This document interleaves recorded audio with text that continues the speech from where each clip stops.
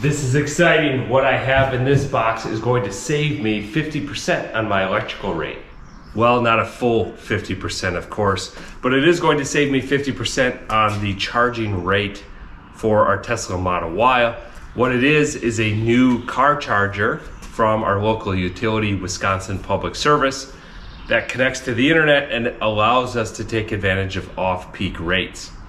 When we purchased the vehicle, I went ahead and got the Tesla mobile charger, which we've been using at our home to charge the vehicle any time of day. Typically though, it's been at night, and after using the mobile charger for about three months now, it's going to be easy for us only to charge at night between midnight and 8 a.m. when we can take advantage of those off-peak rates.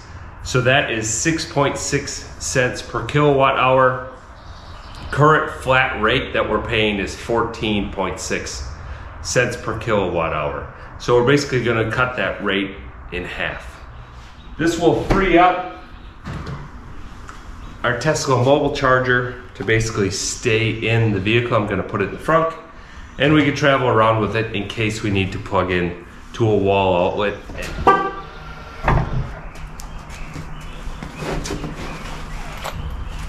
got our case here. We'll just tuck our mobile charger in the way up here and forget about it.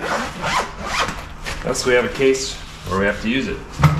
So, like most things in life, this isn't just a straight 50% reduction in your kilowatt per hour rate to charge your electric vehicle. You have to opt into the program, which is $8 a month. Then you either have to buy this charger made by JuiceBox for 600 and some dollars, or you can lease it for $12 a month. I've cho chosen to lease it for $12 a month. Based on that price differential, it makes sense. Uh, it takes a few years at that rate to actually pay for this, and who knows if it breaks or something else comes out into the future as electric vehicles and their infrastructure is rapidly evolving. So let's take a look at this thing.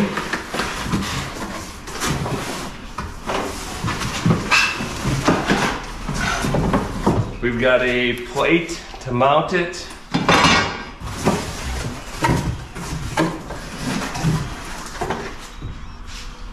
instructions.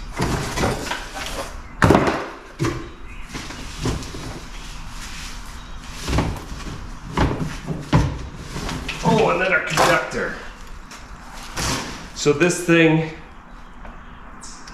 can be either indoor or outdoor mounted. I'm gonna mount it indoors because I can. Oh boy, this thing's hefty. They did ask me the vehicle type, so I'm very interested to see what we have for a connector here because if it's not a Tesla connector, I'm gonna have to buy an adapter for it. So, uh,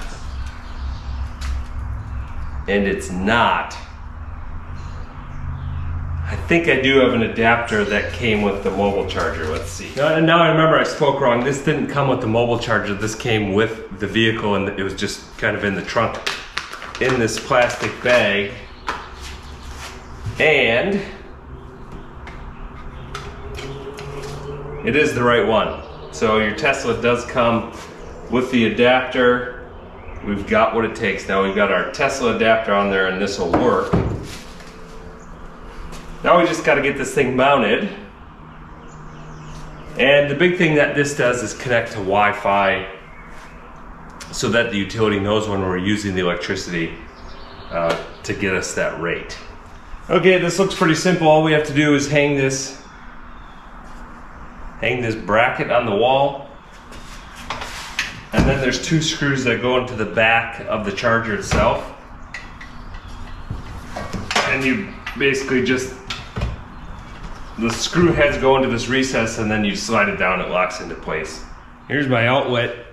Um, here's my outlet. I've got a whole series on how I finished off my garage, put this galvanized steel below and this plating on the corners and kind of a chair rail. So this gives a very handy location to mount things. I don't have to find studs or deal with the drywall I can just screw right to these plates that I put on the corner. Right here, this is behind the impact screen for my golf simulator that I have in the middle of my garage. Um, it's not the perfect location, but it'll work kind of be hidden behind the screen a bit. Um, but anyway, gonna get this thing mounted. I went ahead and uh, changed out the screws. The one that come with this are basically garbage, so uh, these will work a lot easier. All right, we've got our wall plate on. Now we have to do is just take these two machine screws, thread them into the back of here, and it says leave a couple threads exposed, and then lock this thing into place on that wall bracket.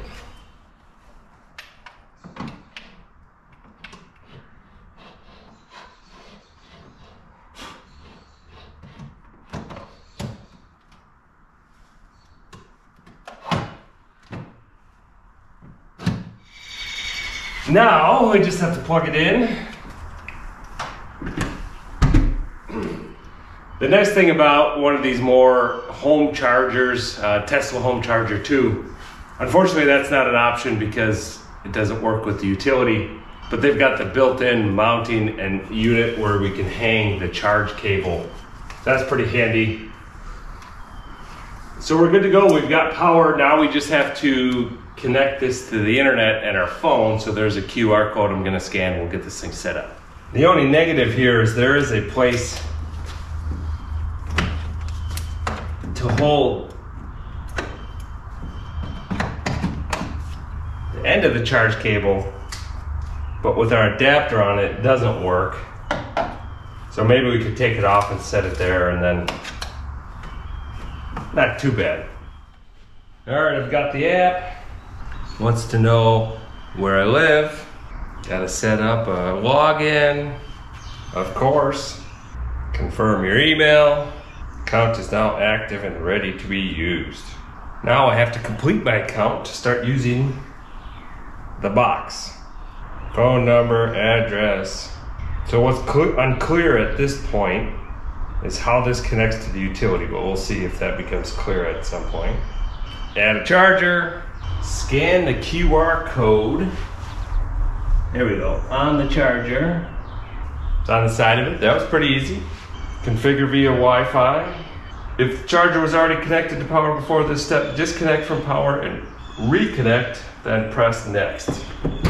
All right, so I need to connect Wi-Fi to the charger, JuiceNet. It's not showing up. There it is. Okay, back to the app. All right. Configuring. So this is to connect the charger to the Wi-Fi. You got to connect to the charger.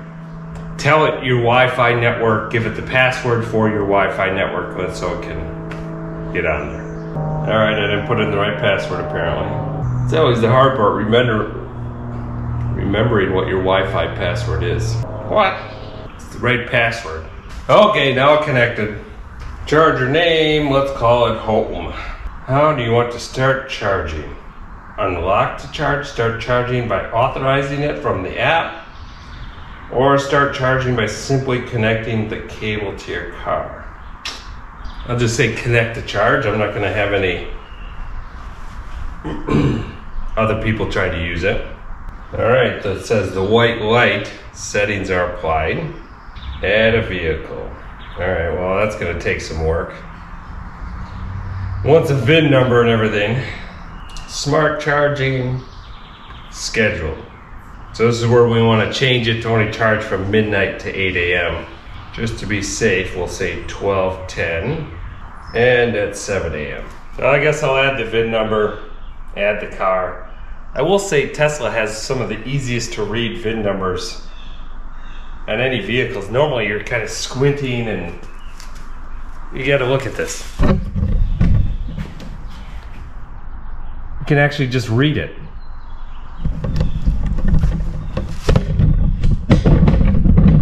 White letters on a black background, what a concept. It's funny, it doesn't even have the correct version of Model Y in here, which I've seen quite a bit. The, the standard range all-wheel drive is new for 2023.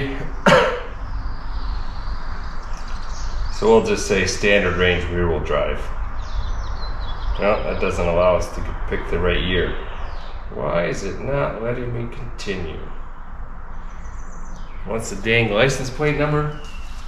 So it's not immediately obvious how the utility is going to connect to this charger and make sure I'm getting the reduced rate. Maybe they have some sort of IT backdoor into this, which is probably the case. So I might just ask them that from the utility, there's a person who handles this. They call it a pilot program for electric vehicles and to get this rate uh, but we've got our box all set up. We can set charge limits in the box, but I'm just going to use the Tesla app for that instead of this box. I think it talks to the car uh, and works better.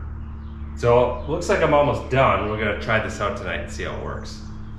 All right, that's better. I don't have to use the thing. I'll just leave the adapter on there. Let it hang like that. So I've been using the JuiceBox now for a few days and it's working perfectly with the schedule set in the box. But there's a couple little things that just aren't quite as convenient as the Tesla charger. So the way the Tesla chargers, the way Teslas work is once you've got the charger installed, it locks it into place and you can't remove it unless you unlock the charge port. And on the Tesla charger, there's a button on it here that you just press it will turn the T white and that means you can unlock it. Because this is not a Tesla charger, we either have to go on the screen of the vehicle and unlock the charge port or in the app here, we can click unlock charge port. And it gives us the white Tesla logo and that means we can take it out and then it automatically closes the charge door for us. So that's not too bad. You just have to use your app or the screen, but it's just not quite as convenient as having the button on the charger. Now, to open the charge ports a little bit easier, again, you can use your app, the lightning bolt on your app or on the screen to open the charge port. Or if you've got the app running on your phone and you're within Bluetooth range close to the vehicle like we are here, you can press, you should be able to press on the lower corner of the charge port here and have it open. But I found it'll be a little finicky.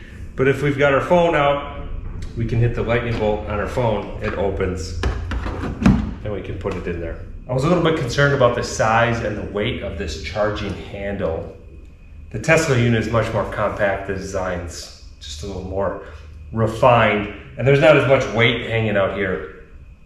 And then you put the Tesla adapter on the end of this, and it gets pretty long, and I was worried that there'd be a little bit of weight on here and it wouldn't seat that well. But actually, um, there's no issues with that. It, it works just fine. So the big thing, the cost savings, unfortunately I have to wait until the next billing cycle. So I did confirm with the Wisconsin Public Service, the utility, they can see this unit. I didn't have to grant them access or connect with my account or anything like that. Um, they know where this unit is, I guess, and, and have a backdoor in it with the, the charge company. They've arranged that already.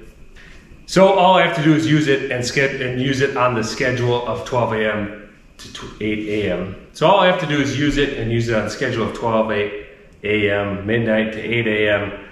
to take advantage of basically half cost rate. If you like this video and you want to see if those savings are actually realized, subscribe to my channel and I will provide a cost of ownership update as soon as I get actual information from this new charger and my electric utility bill. Thanks for watching. Adios.